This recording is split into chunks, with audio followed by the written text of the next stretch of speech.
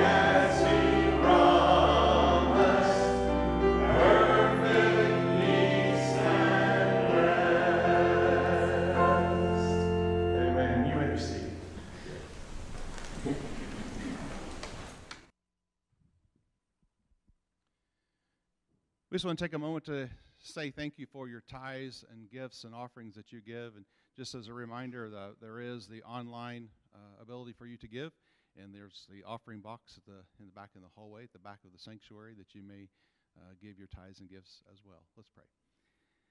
Father, as we come before you during this offertory time, we just say thank you for the gifts and tithes and offerings that uh, you give to us so that we may give back to you. Father, we thank you that the uh, monies that are given are used in our church for the ministries, and you allow these ministries to continue, Lord. Lord, we just say thank you for how you blessed us financially, how you've blessed us with gifts and talents. And I pray, Lord, that we will be uh, faithful to you to use those gifts and talents and finances to continue your work and further your ministry. In your name we pray. Amen. This is our song of the month. What a wonderful message. Love this song. We're here to worship the Lord, and we can worship Him knowing that He is right here in our midst. Amen? I believe that He's here. We just need to behold Him. Let's look to Him and give Him our worship today. Stand if you're able to as we sing, Behold our God.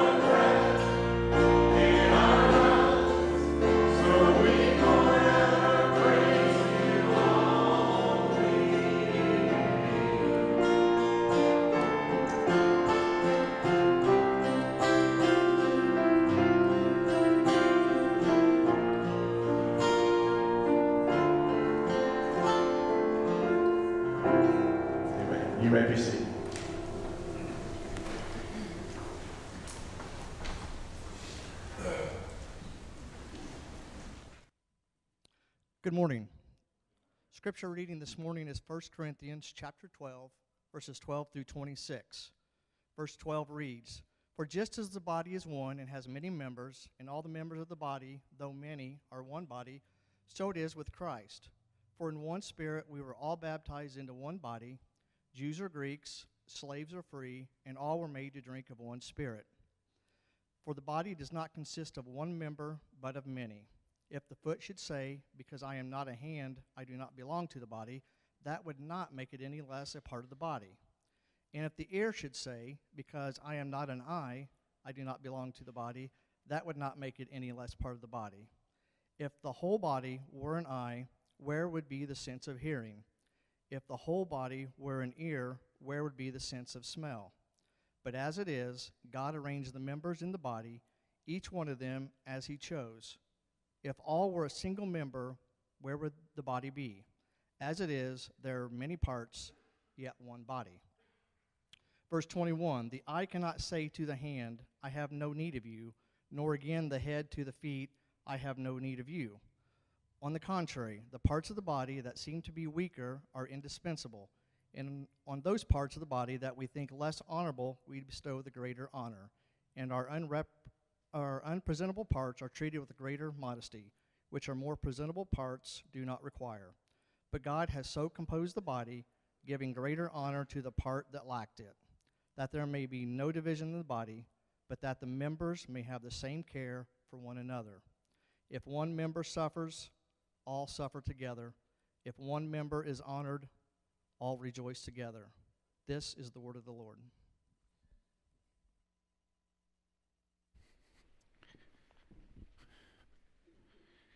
Amen. Let's pray together. Father, we ask for your help as we come to your word, that you would open our eyes to behold wondrous things from your law, that you would grant us the grace to be able to behold you in your scriptures, that we might be changed by them, that we might glorify you in the process. May Jesus Christ be exalted in our worship through the preaching and attention to the word this morning. And it's in Christ's name that we pray. Amen. Well, I mentioned last week that we have an exciting Sunday approaching here at First Baptist. I'm calling it Vision Sunday. It's a time where we gather to worship and to hear preaching from the Word of God as we do each and every week. But we're also going to be talking about where we're going as a church. You see, in two weeks, on June 6th, we will be gathering together for one worship service at 10 a.m. And since it's going to be a little bit more full in here than normal, we will also be streaming to the fellowship hall in case you would like to be down there or you can spread out a little bit more than you can up here. We will be still be having Sunday school groups that day, but they'll be starting at 9 o'clock instead of 9.30, so we have enough time to be able to have uh, Sunday school that, that hour and then dismiss in time to get back up here in time for the worship gathering at 10 a.m. And with Vision Sunday approaching, we're taking some time to look at different passages that give us an idea of our place in the church. If you will, we're setting the table for Vision Sunday. There are some foundational truths that we need to see in the Word of God and some foundational realities that will help us understand what God is calling us to do next as a church. So, last week we looked at the role of pastors and the responsibility to equip believers to do the work of the ministry. God has a lot for us to do as a church. And so he gave us pastors to equip us to carry out that mission. Now, when we were talking about pastors and their role last week, we began to touch on the role of believers in general. Another foundational reality that we need to consider is the role of each individual member and how we fit into the picture of God's plan for the church. How do we contribute to the mission that God has given to the church? Maybe you're wondering that today. You shuffled in here this morning wondering whether it's important if you stay connected to our church. You aren't sure if it really matters if you stick around or slowly disappear from the picture. You don't know if you add any value to this body of believers. Maybe you're discouraged this morning because you aren't sure if God can use you. You don't feel like you have any skills or abilities that matter to God or to others. Well, the passage we're going to be looking at this morning addresses these feelings. In fact, it's going to help us see a couple different mindsets that are potential sicknesses in our church, the body of Christ. So if you haven't already, please turn to 1 Corinthians chapter 12 and turn there so that we can begin reading together in verse 12 in just a moment. We're going to see an introductory truth beginning in verse 12 that will help set the table for the rest of the message this morning. So I'm going to begin reading where Paul starts this section with verse 12 of chapter 12. For just as the body is one and has many members, and all the members of the body, though many, are one body, so it is with Christ. So Paul begins this portion of Scripture by making a comparison. He's linking together two different concepts by proving a commonality that they share in these two verses. He starts by saying, just as the body. So his first object being compared is the human body. And if you look at the end of that verse, which is the other end of the object of comparison, he says, So it is with Christ. So Paul is going to be making some kind of connection between the nature of the human body and the nature of Christ. So, what is true about the human body that is similar to Christ?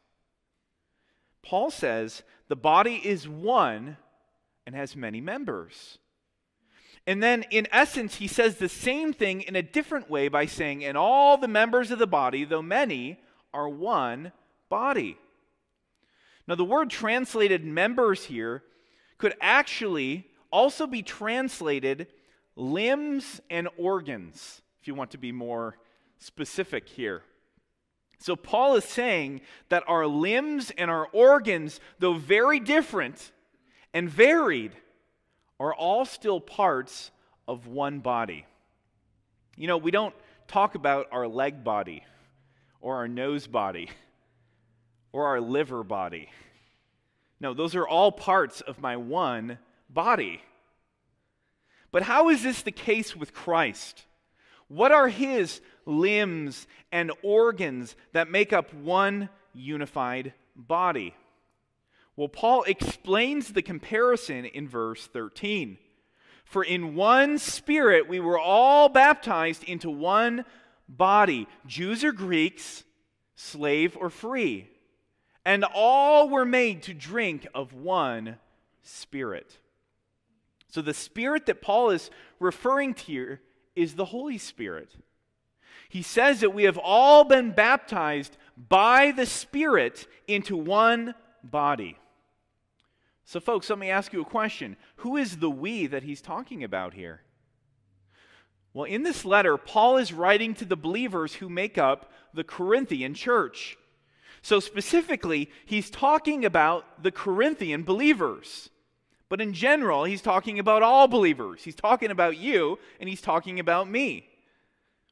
Now, also, what does Paul mean when he says we were all baptized into one body?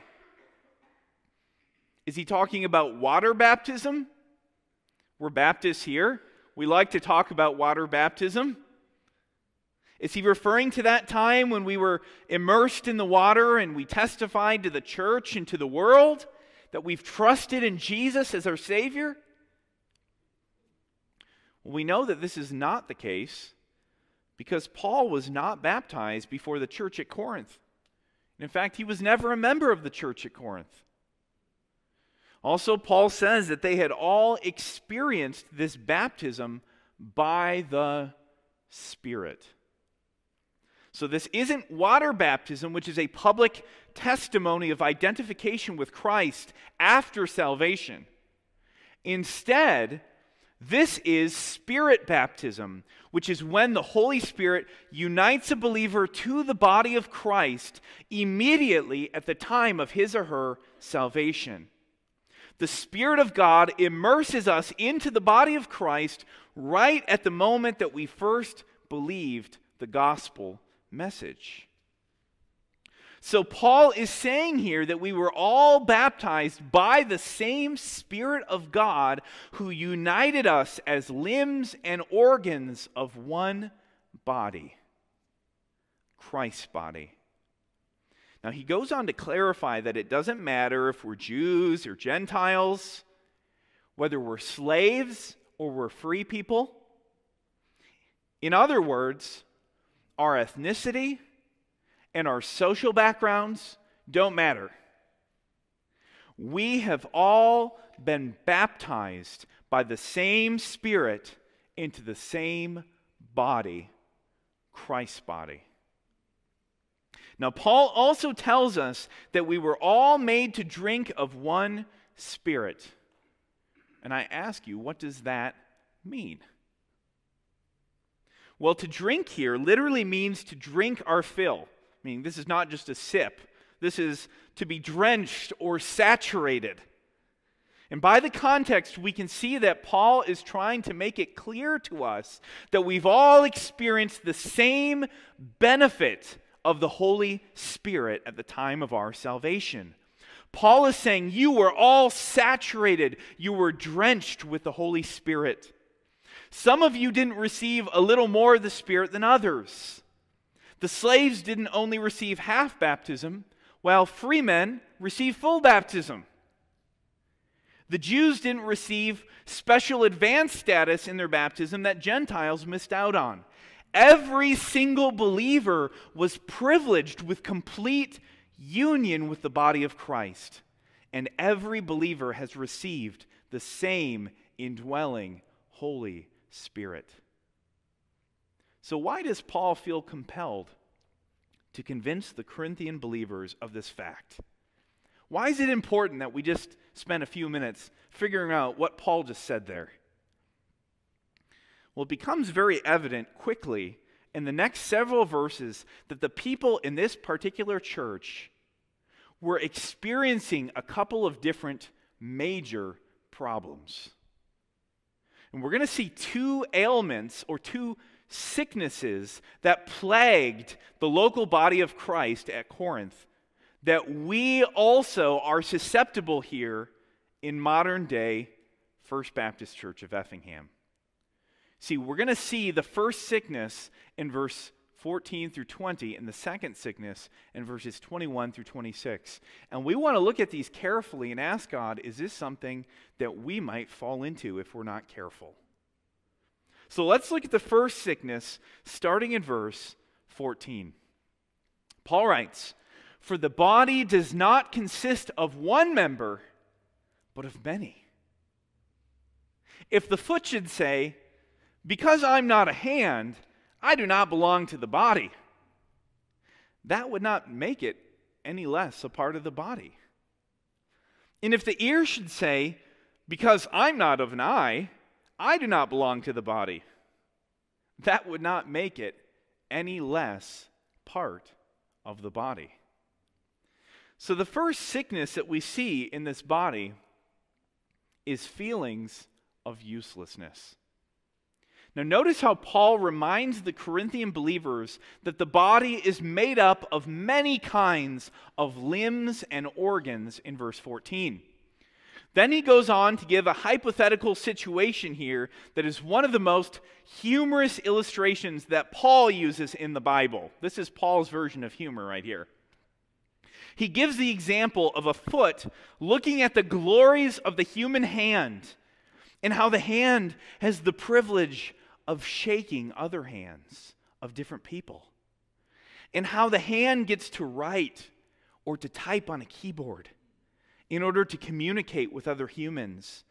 And the hand gets to make the winning shot in a basketball game or swing the bat that hits the walk off home run in a baseball game. And the foot says, How awesome and useful the hand is. He gets all the glory and the praise in the body. I'm just a foot. I get dragged around in the dirt and the body gets mad at me whenever I trip on a step. I may as well not even be part of the body. And because the foot feels that he's not a part of the body, does that make him not a part of the body? Well, what about the ear? He looks at the eye and he says, Man, the eye really knows what's going on. He sees everything. He's at the front of the body, so he's got a more prominent location than I do. And everybody looks at the eye and he says to the body, Wow, what beautiful eyes you have. I mean, they just look at me and they whisper, That guy has funny ears. Look how big they are. My body might as well just get rid of me. Nobody needs an ear. And we look at these illustrations and we say, that's crazy. Feet and ears are just as useful to us as hands and eyes. But in these illustrations, these body parts have convinced themselves that they are unnecessary to the body. Now, when you have a problem with sickness in the body, you need to administer a cure or a remedy. And we're going to see that that remedy consists of three truths in this passage. So, the first truth that you need to understand when you have feelings of uselessness in the body is that the subjective feeling of uselessness is invalid, it's false. See, look at verse 15 and verse 16. In both the case of the foot and the ear, Paul is literally saying just because you feel like you're not part of the body, are you not a part of the body for that reason alone? Paul's point is that the subjective feeling of I do not belong has no validity alongside objective fact. See, it's not in fact the case that it does not belong just because it expresses its own doubts. And you and I know that the objective fact is that both feet and ears are extremely useful to the body. Now, to move to the other side of the comparison that Paul is making in this passage, from the human body to the body of Christ, how does this sickness creep into the body?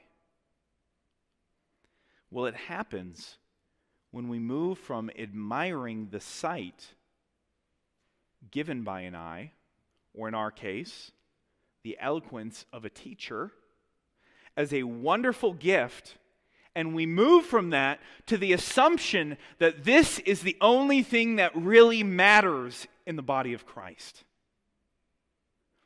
You see, our fallen nature can cause us to look around at all the other people in the church and say, wow, he's such a great speaker, or she's so gifted at running this ministry, or he can share the gospel so well. And we move from admiring God's gifting to a false conclusion that we don't belong in the body. And Paul is saying that such a subjective feeling has no validity alongside the objective fact that all limbs and organs contribute to the operation of the body. Feelings don't determine facts. All believers belong to the body, and therefore you belong too.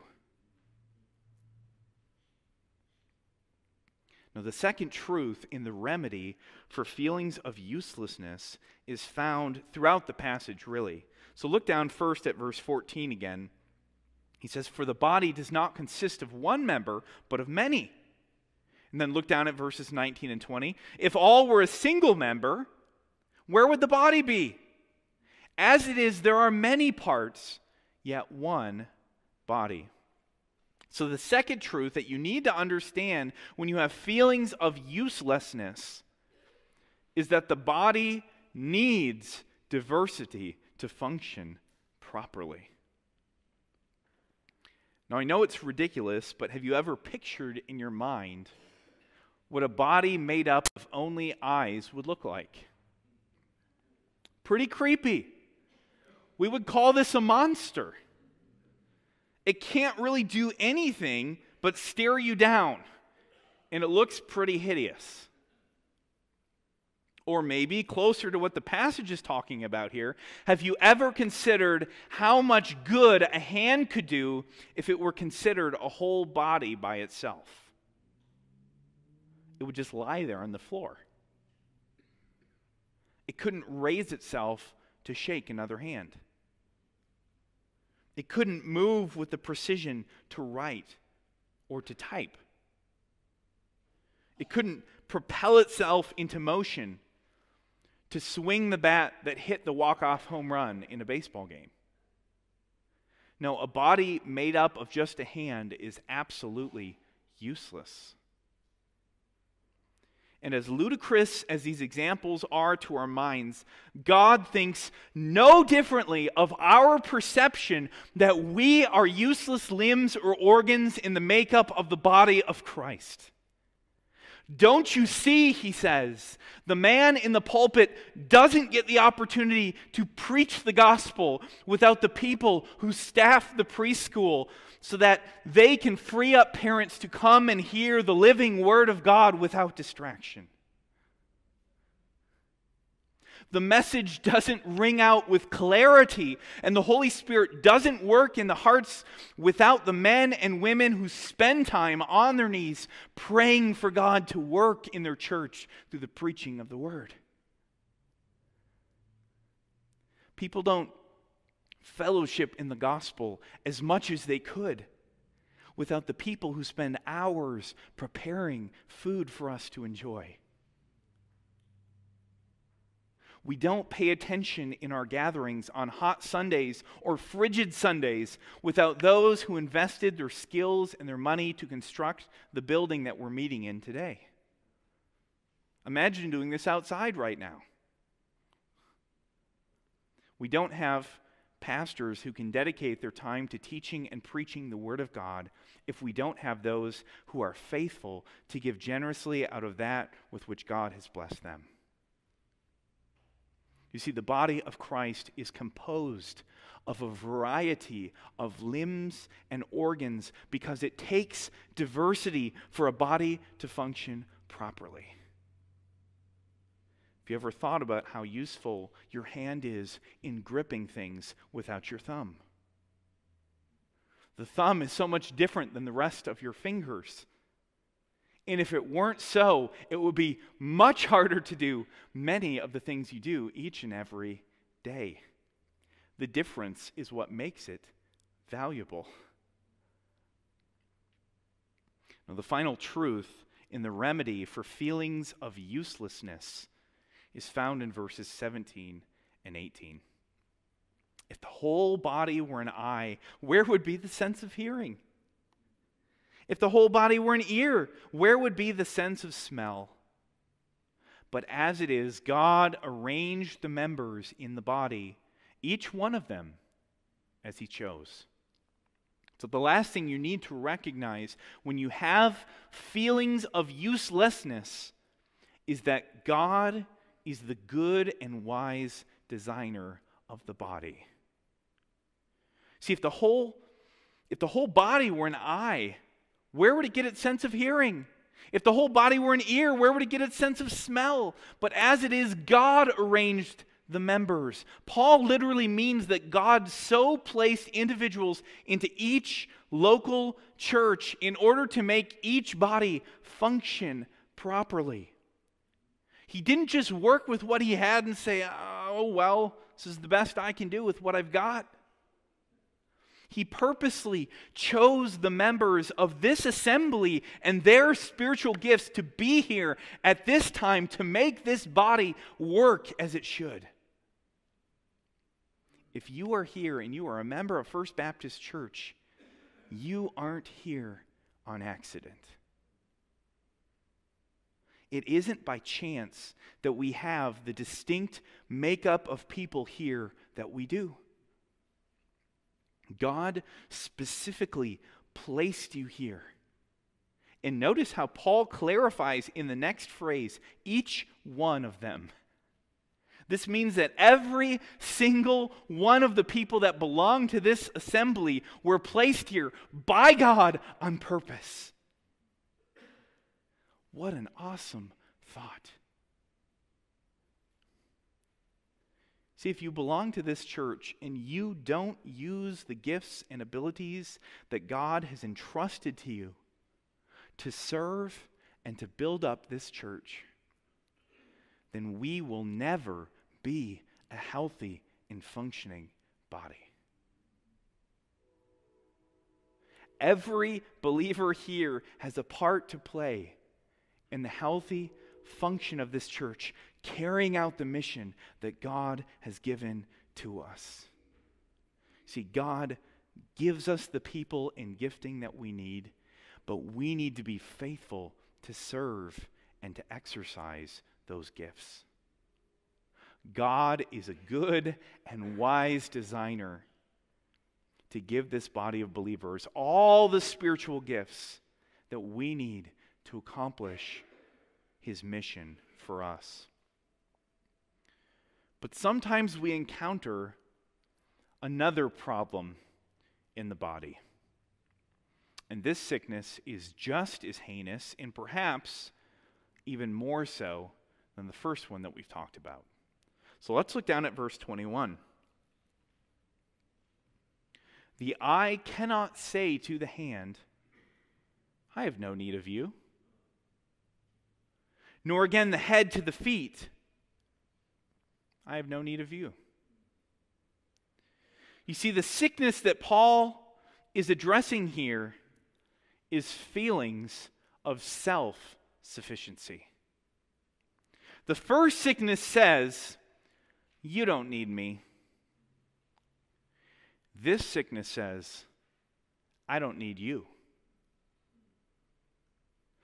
From time to time in the life of a church, it's very easy when we have disagreements to look at those with whom we disagree and say, We don't need them here. We think that they stand in the way of what needs to be done, and we feel like we would be better off without them. Or sometimes we start to look at ourselves and say, My, what marvelous spiritual gifts I have. I am God's gift to this church. I don't really need anybody else to help me accomplish the work of the ministry. I'm quite capable by myself.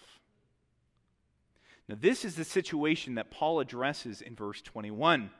So, how does God feel about this mindset?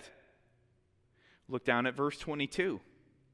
On the contrary, the parts of the body that seem to be weaker are indispensable. And on those parts of the body that we think less honorable, we bestow the greater honor. And our unpresentable parts are treated with greater modesty, which our more presentable parts do not require. So Paul says, on the contrary, even more to the point would be the conclusion that those limbs and organs that seem to be weaker are indispensable. Now, Paul isn't saying that these are people who are frail or weak in the sense that they lack ability to do anything. He's referring to those who are less endowed with power or status in the church, the people you would not think of immediately. This would be those people who aren't standing up and teaching and preaching and gaining all the attention in the church. Instead, they are ministering behind the scenes. The strong or gifted perceive them not as providing much effective weight or power in the church's mission. These people, Paul says, may seem to be expendable, but that is actually not the case. Here they are said to be indispensable or essential. So, the negative warning that Paul gives to those who have feelings of self sufficiency is don't say, I don't need you. Don't say, we will do okay without these people. They aren't really that important to our church. On the contrary, those are people that God sovereignly placed here and whom God has equipped with spiritual gifts that you don't have so that you could be built up to do the ministry that you do. And Paul goes on to compare how, with our human bodies, we have parts that we consider to be less presentable or less honorable. And we cover them up to give them modesty that our more presentable parts don't need. So, how is the body of Christ like that? Well, look down at the end of verse 24.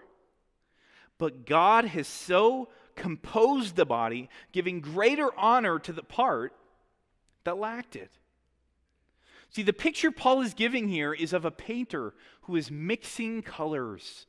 God is mixing together the body of Christ in such a way that he gives honor and modesty to those limbs and organs that lack it.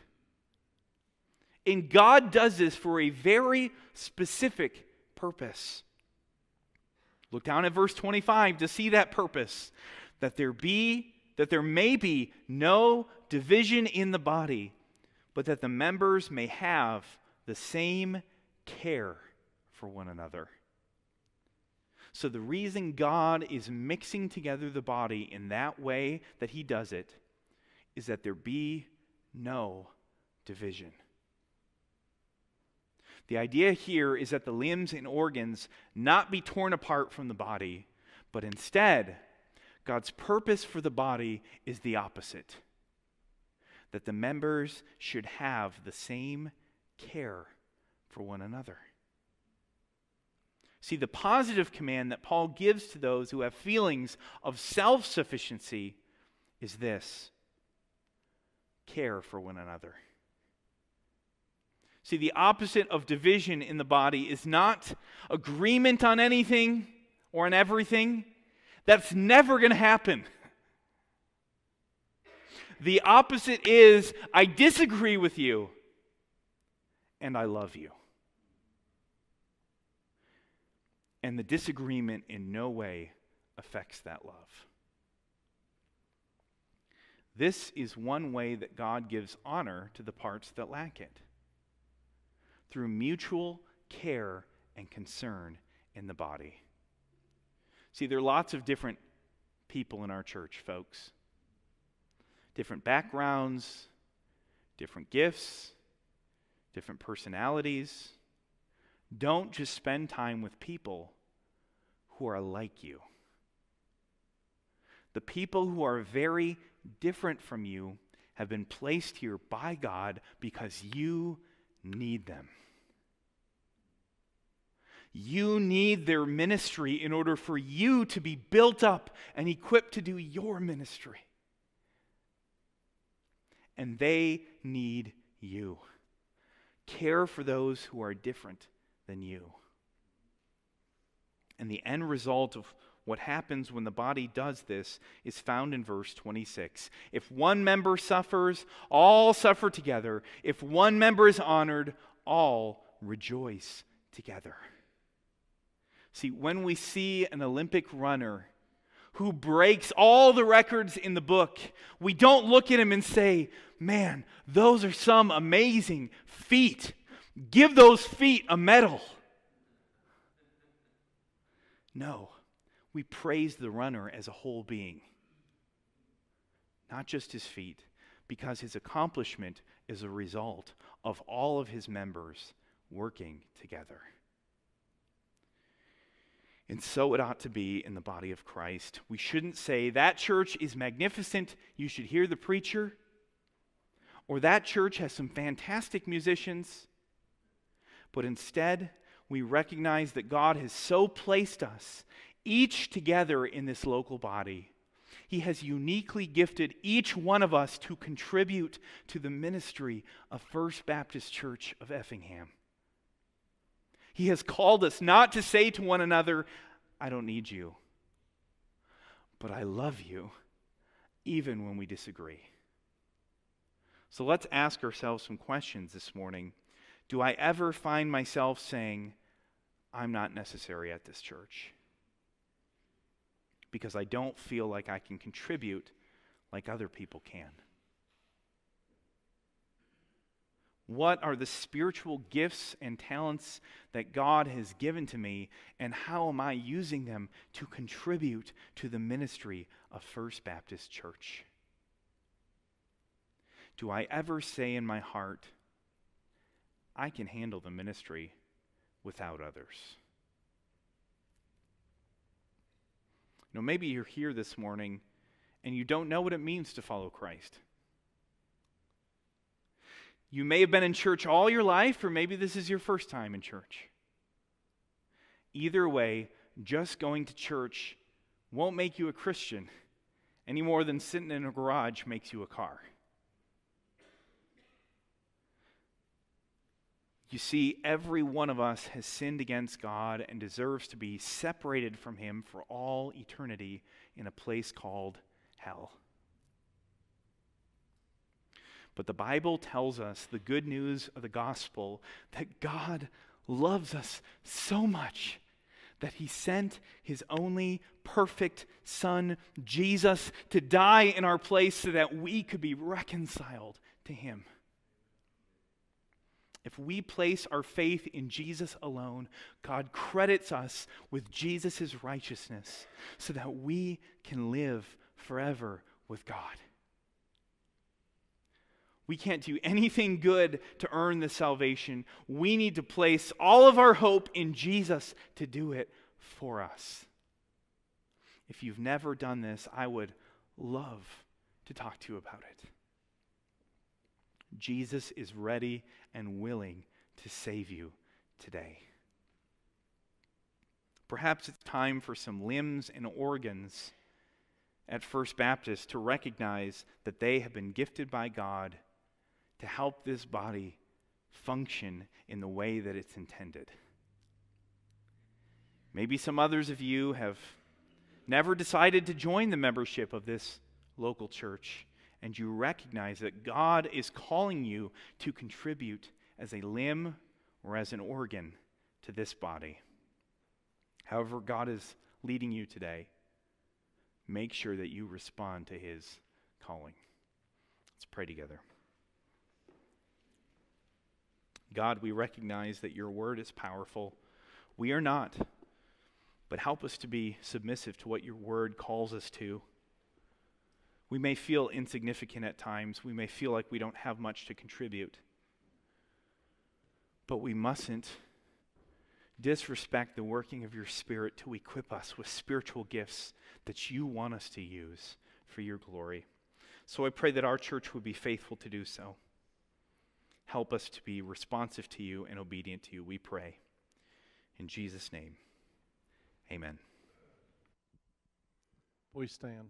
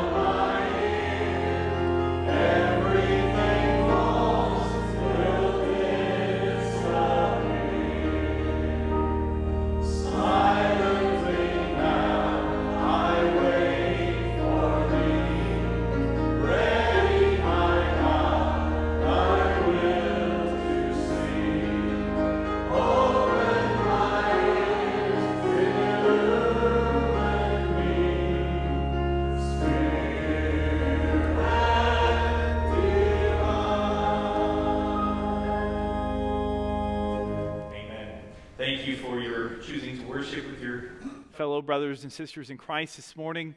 As we close in prayer, we want to continue to pray for Rosie and Dennis Tucker. We mentioned last week that Dennis had fallen, uh, and he has been in the hospital now for a week. He's had some ups and downs. Uh, last night had a good night. We want to continue to praise the Lord for that, but to also continue to grant grace and strength for Dennis and for Rosie. So let's bow our heads and hearts together. Father, we thank you for your loving watch care over your people. We know that you love us more than we could possibly love one another, but you have called us to be channels of that love to one another in the body of Christ. So help us to do that. Help us to glorify you through showing your love to others. We pray for Dennis, and we pray that you continue to work in his body. We thank you for positive signs that he's seen, and we thank you for watching over and superintending in the circumstances that didn't seem as positive. We pray for Rosie, and we ask that you give strength to her as she continues to love and care for Dennis. We thank you for the privilege of modern medicine and for those who have cared for them. We pray for our church that you would give us the strength to be obedient to what you call us to do in your word. Sometimes you ask very hard things of us, and yet you always give us the strength to follow through. So help us to be obedient, we pray, that you might be glorified in us this week. In Jesus' name we pray. Amen. You may be seated.